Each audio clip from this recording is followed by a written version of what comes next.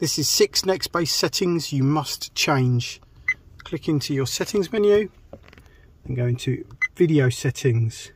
From here you want to come across, go to speed stamp. Ideal to turn this off.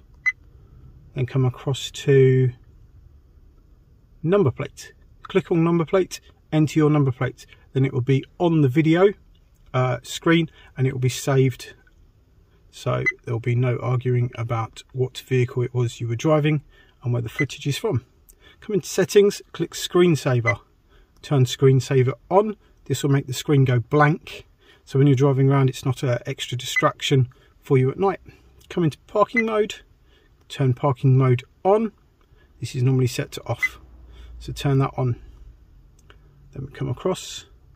Go to auto power on or off if your dash cam is wired to an a ignition you want this to just be set to off.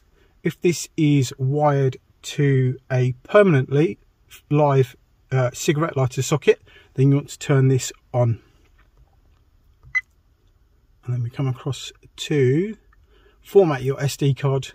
When you get your first uh, SD card and put it in your camera for the first time always format it to the camera just to make sure that it is formatted correctly.